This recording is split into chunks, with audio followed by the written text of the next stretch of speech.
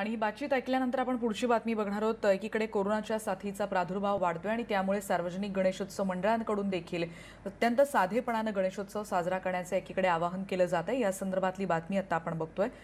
पालिकेकडून हे आवाहन तर एकीकडे करण्यात आलंच आहे त्याबद्दल काही मार्गदर्शक सूचना देखील पालिकेनं जारी केल्या यानुसार सार्वजनिक गणेशोत्सव मंडळांना नेमकं काय करणं गरजेचं आहे हे देखील यातून स्पष्ट होतंय. विषाणूचा संसर्ग वाढू नये यासाठी गणपतीचं या ना- यासाठी गणपती गणेशोत्सव मंडळाच्या आजूबाजूचं प्रतिबंधित क्षेत्र आणि टाळेबंद इमारतींमधल्या गणेश विसर्जनावर आता निर्बंध घालण्यात आलेत. सार्वजनिक गणेशोत्सव मंडळांना मंडपाजवळच तसंच प्रतिबंधित क्षेत्र आणि टाळेबंद इमारतींमधल्या घरगुती गणपतींचं देखील तिथे विसर्जन करावं लागणार आहे. अधिक माहिती घेऊयात आमचे प्रतिनिधी सागर कुलकर्णी आता आपल्यासोबत आहेत. सागर गणेशोत्सव जवळ येत चाललायत नेमकं कशा पद्धतीचं हे आवाहन आहे? गणेशोत्सव मंडळांसाठी कोणकोणत्या गोष्टी लक्षात ठेवणं आत्तापासूनच गरजेचं असेल? मुंबई महापालिकेच्या वतीने दोन सूचना करण्यात आलेल्या आहेत ज्या एक सार्वजनिक गणेश उत्सव मंडळांसाठी आहेत आणि घरगुती गणेश उत्सव ग- साजरा करतात. त्यांच्यासाठी ही सूचना केलेली आहे.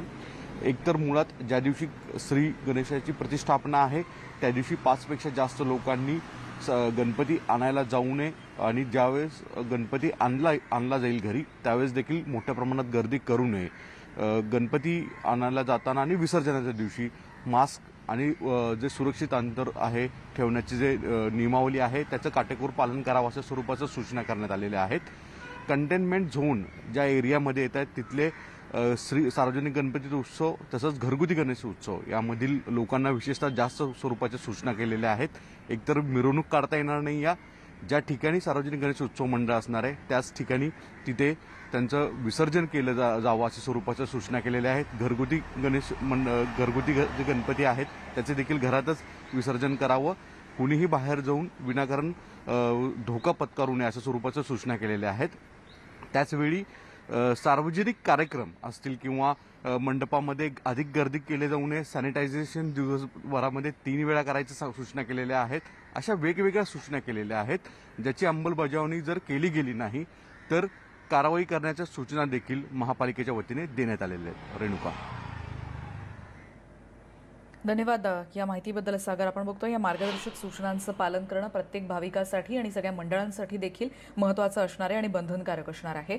आता बघूयात कोरोना अपडेट देशातलं कारण एकीकडे देशात रुग्णांचा आकडा वाढत चालला आहे आणि हा कोरोना रुग्णांचा आकडा तब्बल सोळा लाखांच्याही पार पोहोचलेला आहे. एकीकडे ही संख्या वाढते पण त्याचबरोबर चोवीस तासात सहा लाखांपेक्षा जास्त कोरोना चाचण्या करण्यात आल्यात.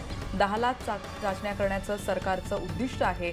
अधिक माहिती घेणार आहोत प्रशांत लीला रामदास आमचे प्रतिनिधी आता आपल्यासोबत आहेत. प्रशांत चाचण्यांचं प्रमाण वाढवण्याचं सरकारचं उद्दिष्ट आहे. सहा लाख चाचण्या दिवसभरात करणं म्हणजे चोवीस तासात करणं ही देखील एक मोठी उपलब्धी म्हणता येईल. बरोबर आहे. एक मोठी उपलब्धी आहे. गेल्या चोवीस तासामध्ये सहा लाखापेक्षा जास्त या चाचण्या झाल्या देशभरात आणि सरकारने ज्या पद्धतीनं प्रयोगशाळांची संख्या म्हणून लॅबोरेटरीची संख्या देशभरात वाढवली आहे आणि त्याच्या माध्यमातून जास्तीत जास्त चाचण्या कशा करायच्या? कारण की या रोगाला जर थांबवायचं असेल तर चाचण्याशिवाय दुसरा पर्याय नाही असं यापूर्वीच डब्ल्यूएचओने स्पष्ट केलं. आणि केंद्रीय आरोग्य मंत्र्यांनी याच पद्धतीने री ओढली त्यांनी स्पष्ट केलं की जर चाचण्यांच्या माध्यमातून या याचं संक्रमण जर रोखायचं असेल तर चाचण्याच्या माध्यमातून ऍक्टिफाय करावं लागेल की कुठल्या रुग्णाला कोरोना झालेला आहे. आणि त्यामुळे चाचण्याची संख्या वाढवणं अत्यावश्यक आहे आणि मोठ्या संख्येनं चाचण्या घेण्याची गरज आहे असंही स्पष्ट करण्यात आलं तर त्याच धर्तीवरती आता हळूहळू चाचण्यांची संख्या वाढवण्याचा प्रयत्न होतोय आणि त्याच धर्ती जर बघितलं आपण तर गेल्या चोवीस तासामध्ये साधारणतः चोवीस तासामध्ये सहा लाख चाचण्या झालेल्या आहेत केतकी धन्यवाद प्रशांत. या माहितीबद्दल आपण बघतोय चोवीस तासामध्ये सहा लाख चाचण्या करण्यात आलेल्या आहेत आणि तब्बल दहा लाखांचं उद्दिष्ट पार करण्याचं देखील सरकारनं ठरवलेलं दिसतं या बातमीनंतर पुढची बातमी आपण बघणार आहोत. बुलडाण्यातल्या शेतकऱ्याच्या संदर्भातली बातमी आहे.